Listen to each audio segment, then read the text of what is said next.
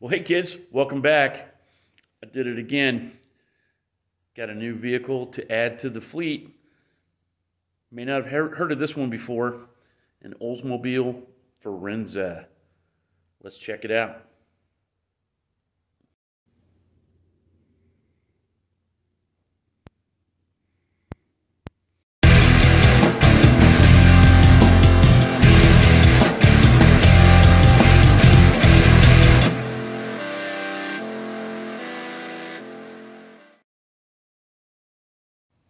All right, so here we go. What you're looking at right there is a 1979 Oldsmobile Starfire Firenza. Uh, pretty cold here in uh, central Indiana. Um, wanted to kind of pull it outside so you could kind of check it out, but eh, we're gonna we're gonna try to get around it here in the shop so you can see it. Uh, I think you can get the the general idea of what what we've got here. Um, and I may move, move, some stuff to give you some better shots because uh, kind of cramped quarters where I've got it parked right now. But um, car runs and drives. Um, got its, you know, used car kind of issues.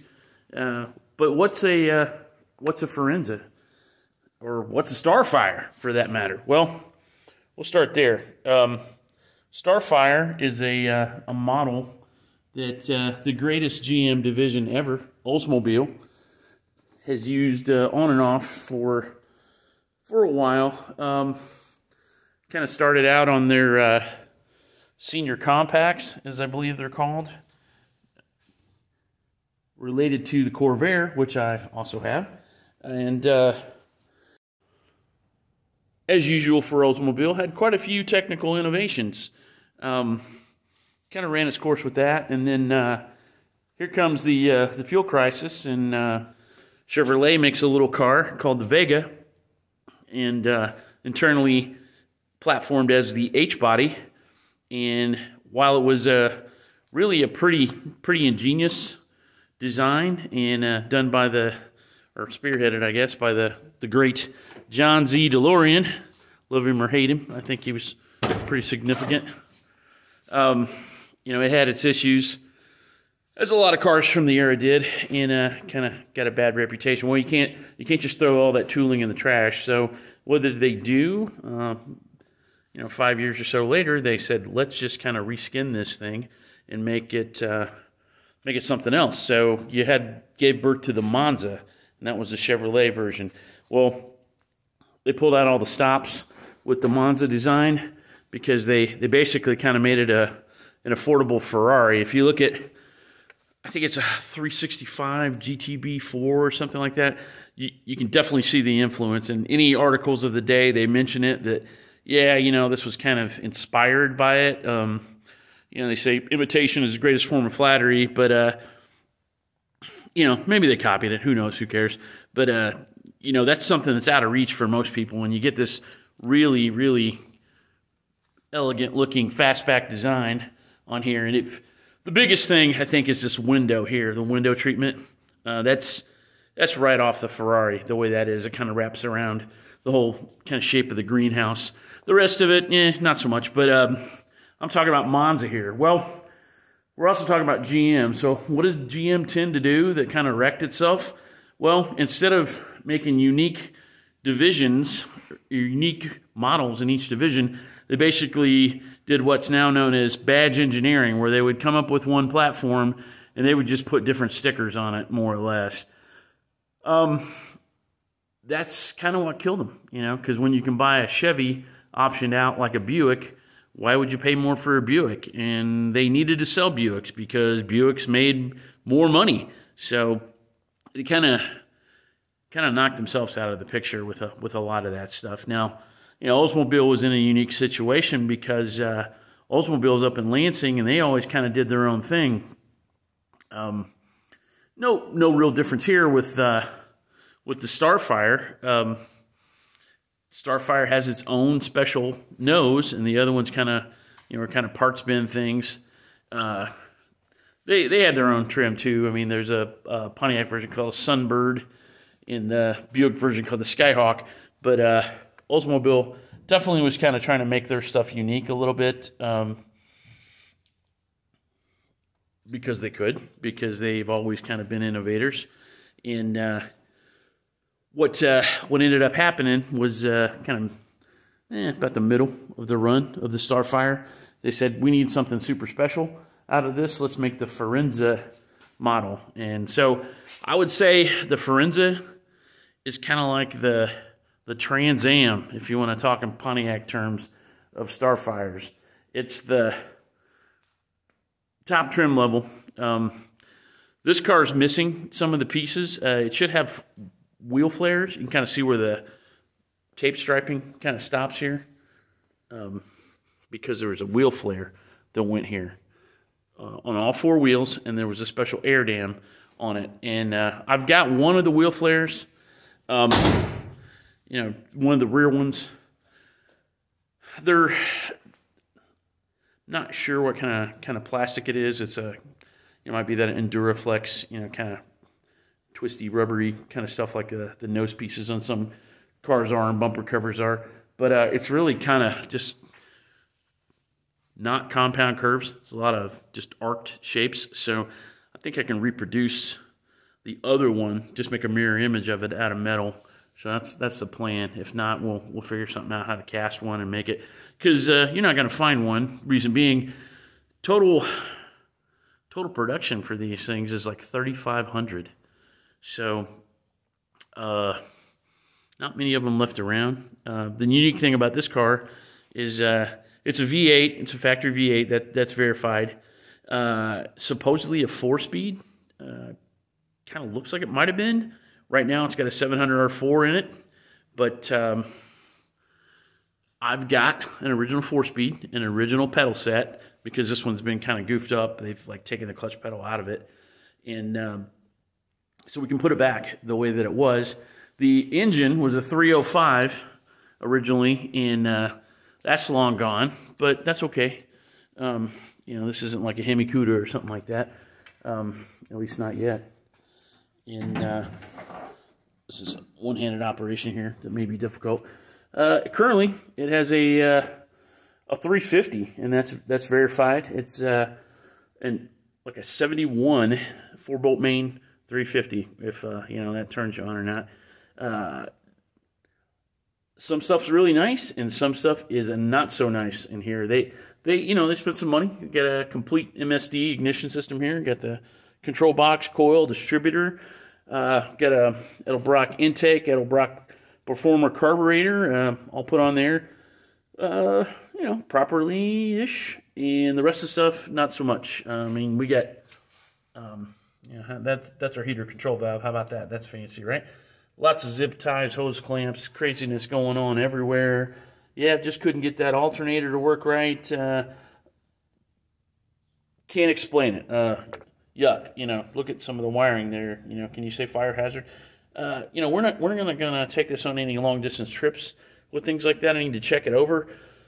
She definitely marks her territory when she's sitting around uh, for a little while, uh, but you know, I don't have a problem with that. I mean, it's it's a small block Chevy. I mean, it's easy to work on. You know, they got their they got their strengths and weakness weaknesses. I've I've had a, a lot of them to know where where to focus on. You know what what's going to break down, so we can get that straightened out. Um, interesting to note that you know, yeah, it's a small block Chevy, and that was kind of a, a thing. I think uh, I think you get a V8 or V6 Firenza too, but uh, if you believe the forums, this might be the reason why the Oldsmobiles are not as common as the other four versions of this H-body Monza type platform. You know, Monza Sunbird, Skyhawk, and then the Oldsmobile Starfire uh, Oldsmobile people were pretty loyal, and uh, I think they expected a, a Rocket V8 in there. And it's not as easy to package as a small block Chevy is, and they already had this set up, so they just didn't do it. Um, that I, I think there might be some validity to that, but you know it's it's hard to tell. Regardless, there's just not a lot of these around, and uh, I don't think any of these Monzas or H bodies, Starfires, whatever you want to call. Them. I don't think any of them have a stock gas cap. Uh, you know, because I could just come up. This is the era when people were stealing fuel. Um, I know that seems alien to people now, but they did used to uh, go around and steal gas when you couldn't get gas uh, during the during the crisis, crises. You know, one of one of two. Uh, they'd get a siphon hose and still steal fuel out of your tank. You know, people started buying lock and gas caps, and the stock one that was on this probably uh, probably went uh, into the trash can when uh, Jimmy Carter was president. Uh, not not sure, but uh, it's it's not easy to get one. I don't care. You know, we'll do something custom. I mean, the locking ones are okay, and I do have the key for this, thankfully. But um, yeah, they're just kind of it's kind of a hassle. So we'll we'll do something different. But um, this is this has definitely been kind of kind of goofed with a little bit. You can see, you know, those are not the stock wheels. Those are um, Centerline, which uh, you know I, I, really like Centerline. Unfortunately, they're no longer with us, but um, I think it says something Star, Royal Star, yeah, Royal Star on there. Uh, Centerline Royal Star, which I don't know what the heck that is. If you look these up online, I see them called hatchets, and uh, that sounds a whole lot cooler than uh, Royal Star. But uh, yeah, these are these are four lug wheels. They're like four on four, which is kind of oddball. So um, I don't know what we're gonna do with the wheels. I think it kind of suits the car. I don't really care for the rubber rake that it has. If you don't know what that means, I mean they're basically kind of lifting the back of the car with a, a taller, bigger tire and, and sometimes that looks cool, but on this one, if you get pretty far behind it, it's such a short, narrow car. It it kind of looks like it's uh, you know an elephant on roller skates or something like that. It looks kind of funny. So I like to maybe like to let the back end down a little bit. Plus, when you got two different size tires, front and rear, it makes it real difficult to carry a spare. And this one doesn't have one at all. So I don't like I don't like driving without a spare. Uh, if you ever seen you know adventures in babysitting, you know you get a you get the lesson from the, the record driver with the, the the hook for hand. You know, you, you kids driving on the on the uh, parkway with no no spare. You're crazy. You know that that's me. You know, don't go out without a way to get back home. Um, one of the other things is kind of a bummer, I guess. Not not the end of the world. Is the Firenzas had a special uh, sports steering wheel. It's kind of like uh, what a lot of the other Cutlasses had, 442s, performance Oldsmobiles, stuff like that. Um, but it's a smaller diameter. So it's only on these cars. Well, it's long gone. Somebody put this Grant steering wheel on here, which these are okay. Of course, they put it on upside down, but um, it's it's missing. I'll probably never get another one, but I, I want to get something that looks like it belongs in this car a little better. Um, had the door open a second ago, open it back up. Again, this is pretty much as I brought it home, so there's garbage and trash and parts and things that aren't don't even go to the car in here. Um, look at that, man. Wind up windows. All right. Um, but tilt steering. Um, kind of a weird weird combo there. I don't know if somebody ordered this that way or maybe that was part of their Forensic package. Not sure, but um, I remember these for sure. My dad had a Sunbird, um, 77 Sunbird, and uh, they're they're a good looking car too. But it had the same kind of thing here. This sort of theft deterrent lock where the push button wasn't up on the door because you know people take a coat hanger and slide it in and hook onto those and unlock the door and steal your car, steal your stereo or whatever the case may be. Um, this made it much much harder, but uh, I do remember he was able to get into it one time. He figured out how to bend a coat hanger and hook it and pull it forward down the side and get break into his own car. So I thought that was like a magic trick when you saw that happen. But uh, yeah, you know, typical GM stuff. All the grease is dried up, and these are really stiff. You know, so you got to watch because I don't want to. I don't have to break. I don't want to have to break into this thing myself. But uh, you see the Starfire badging um, because they made lower trim trim levels of this too. I think they made a GT and an SX. Uh, my good buddy had a, a green with green interior, um, 76. The one uh, before this had a different nose piece. The, this was new for 79, this uh, two headlight system on the front. his had four headlights, more like a like a Cutlass of the era, more like my '76 Cutlass, and his had a um, Buick V6 3.8 and a manual. And I'll tell you what, with the with the V6 in it, it was still it was a lot of fun, and uh, he certainly made his fair share of trouble with it. But uh, yeah, this this is V8. Um, who knows the output of that engine? It's definitely not stock. I mean, you can hear it's got a it's got a rumble. We'll fire it up here in a little bit. Um, so it's it's got a, a, performance camshaft in it. Um, who knows the output? You know, you can't really believe the seller what they're going to tell you. Until it has you know 500 horsepower or something crazy like that. But um, you know, probably not. You know, not even close to that. But uh, who cares? Like I said, this is going to be my daily driver. The other thing is it supposedly has a 410 with a spool in it. Now, it's definitely locked in the back, I'll tell you that. Um, whether that's really a spool or somebody's welded the spider gears, I do not know. Kind of kind of makes it a little sketchy on anything but dry pavement, or e- even then, that's a little sketchy. But uh, we'll make it work. Like I said, uh, they do make a spool for this little seven and a half inch uh, ring gear differential. I was I was shocked. So he they might not be uh, you know pulling my leg on that. Uh, I got a, I got another tail light. You notice this this one back here was uh, kind of bashed, but I, I, got a spare with it. I got a, I got another tail light for that, so we can fix that. And then uh, you know when we went around the front, the um, the grill was broken. Uh, I got uh, got another grill for that. I don't know if they're trying to get into the hood and bashed it out till they get to the latch. Who knows? But uh, yeah, you know, good thing I, I found got a I actually got a spare left and right grill. So, but I just need this one for now. And the surrounds that go around this, I got actually got three of those. I got a left, right, and a spare right, maybe I don't remember. But um, yeah, get a crack in the windshield. That that sucks. That's not good because you they're not reproduced. But uh, interior wise, um, pretty practical actually. They're a hatchback car, so let's see if we can find the keys here for the, the ignition. Yes, they are. Um, this is another one-handed circus trick for me here. Um, we'll get this unlocked.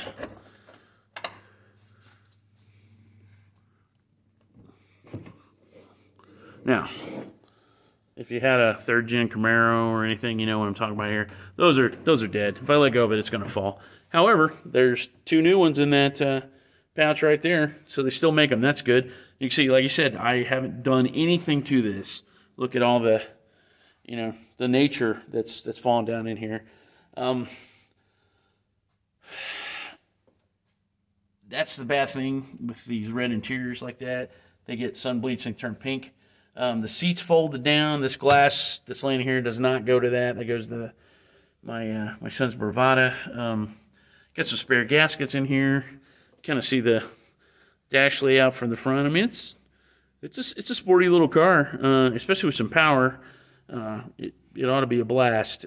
But uh, we got we got that much straightened out. Uh, we got the grills. We got a lot of the, the pieces that we're missing. Um, and then the, the other stuff that we don't it's just you know standard fare GM stuff. You know all the hard parts. You know that's a good thing about about GM. They, they didn't change stuff unless they have to. So you kind of get stuff and fix it. Um, you know this stuff's all flaked off. You know I, this is not going to be a restoration for me, at least at this point. I don't. You know I fall in love with with everything, but. Uh, you know, I just want to get this just going to where we can drive it around and uh, and use it. Um, you know, I'm not going to turn it into a truck, but you know, with that fold down rear seat, as you saw, it's in the fold down position, and uh, I got some stuff laying on it, so I can't move it. But you can, you can put quite a bit of stuff in the back of those, um, more than more than you think. I mean, this was the the crossover before a hatchback was a crossover before anybody knew what a crossover was. Really, um, you know, you could, wasn't a station wagon, wasn't a sedan or a coupe. You could uh, kind of get some get some utility out of it. Uh, no no difference with the with this little car here. So uh, let's start it up.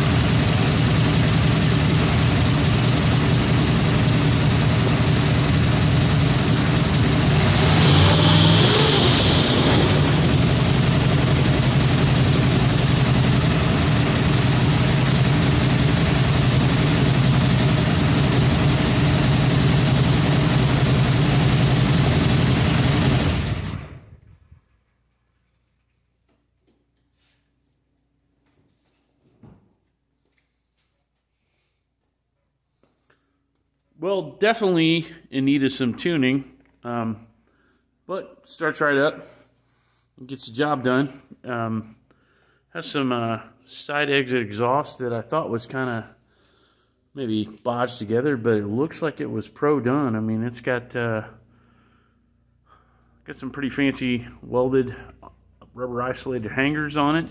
So uh, not how I would have done it, but uh, uh, works pretty good nonetheless. Um, got the old um, Edelbrock Signature Series setup that I had on my very first car, my 69 Camaro. So that, that's kind of cool. Um, as you saw with the, the battery connections, definitely uh, definitely something we need to uh, focus on, you know, with the, the screw and the negative terminal and a bunch of other BS there that uh, is kind of spooky. But um, really pretty solid otherwise. Um, like I said, somebody tried, but, uh, you know, what they say about best intentions. Um, but it's a good package. I mean, you know, you get a get a small block Chevy and a GM car. I mean, what can go wrong? You know, it's uh, it's a good package. Uh, people have been doing it for years. We can uh, we can make this work. Um, got the got the Edelbrock Performer carburetor on there too. Um, sorry about the camera work there, but uh, you know that's uh, based on the old Carter design. Nothing wrong with that. Uh, definitely a, a very streetable setup. Um, I think I told you earlier the uh, the tires on this are just are just wasted. I mean they're so bad, and so we're we're going to get rid of those and get something on there that we can we can use and drive. Um, got the got a replacement hood on there. I don't know where it came from. It's it it fits. It's the right one, but it's got some uh, you know a little bit of some chinks in the armor I guess you'd say, on that. But uh, you know, who cares? You know, we're we're gonna drive this thing. We're not gonna try to, you know, turn it into a show car by any means. We just want to use it. Um, would like to get it back to a manual one day, but that's not a priority. Um, probably would keep the wheels. Maybe, maybe try to get the fender flares and stuff looking better. Maybe make the interior a little more presentable. But um, other than that, I'm going to use it as is. I, th I think it's pretty cool. Um, you may have seen, you know, we got a lot of vehicles in the Smith Motorworks fleet, fleet excuse me, but, uh, you know, uh, I own them, but uh, my kids drive them. I mean, uh, the Fiero is my second oldest son's car. The Cutlass convertible is my daughter's car. The Bravada is my youngest son's car, and uh, he doesn't need it right now, which has kind of been a a, a good thing for me because he's a freshman at Purdue University, boiler up, and uh, they can't have cars. But next year he'll need a car, so he's going to start driving it again, and uh, I'm going to need something, and uh, I got a lot of projects, but uh, most of them aren't really anything that you can daily. Used to used to daily my old Corvair quite a bit, which is up on the lift, and we still might. But uh, hey, man, I wanted one of these, so I got it. Here we are. Dare to be different. 79 Starfire Firenza. If you got one, if you know about one, let me know.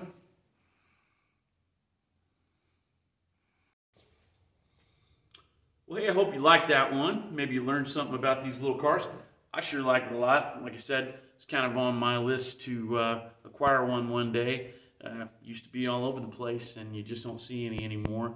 Uh, maybe isn't the smartest decision for a daily driver, but um, I've driven uh, driven a lot of stuff that probably isn't the best daily driver. I'll make it work. It's not too wild that we can't handle it, and uh, it's fun, and we got to dare to be different. So we'll see you next time on Smith Motorworks. Thanks for watching. Like, subscribe, share, comment, all that stuff. Let me know what you think. I'm going to keep doing it regardless. Later.